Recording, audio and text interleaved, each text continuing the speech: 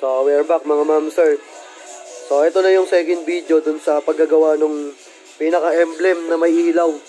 Yung mga parang tulad sa Everest, ganyan, Fortuner, yan. Yung sa likod nung sa BRB. So, on the process na siya. Yan yung gamit natin. So, nag-sounds muna tayo, ayan. Habang gumagawa, dito tayo ngayon sa bodega. Thai parts.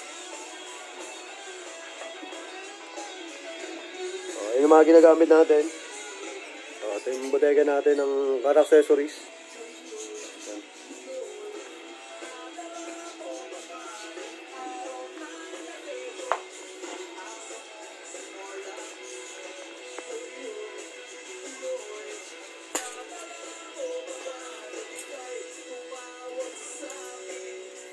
So, ito yung mga ginagamit natin.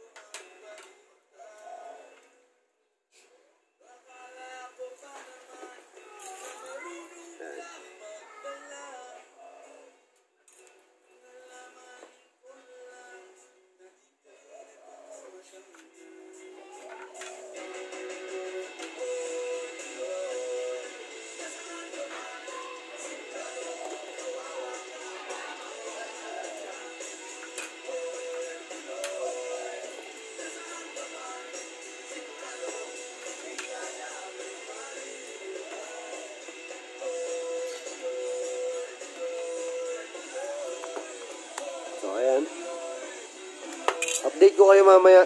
Ah, ilagay ko lang muna yung mga kailangang ilagay din. Pakita ko sa inyo yung kata, ah, kalalabasan mamaya.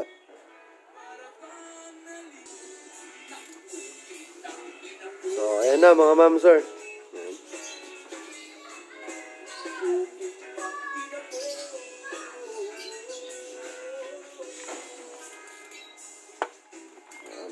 So, update ko uli kayo mamaya. Ah, step by step, papakita ko sa inyo kung ano yung mga mangyayari habang binubuo natin.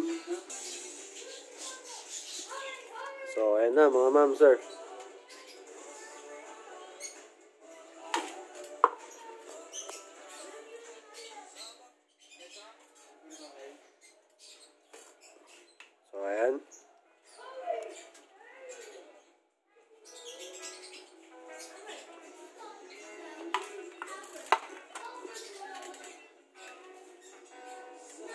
Try ko palagyan ng ilaw muna, tapos testing natin. So, ayan mga ma'am sir, nag-improvise lang ako ng pinaka-ilaw na red. Ayan. Ilalagay natin para umilaw to.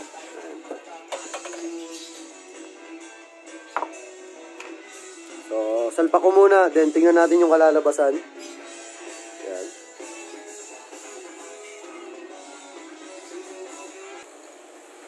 So, ayan mga ma'am sir, punta na tayo dito sa sakyan.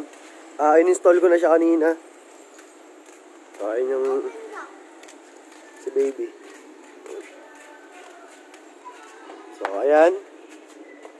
Nakasalpak na siya. Ayan. So, on natin yung ilaw. No, baby, no, wag.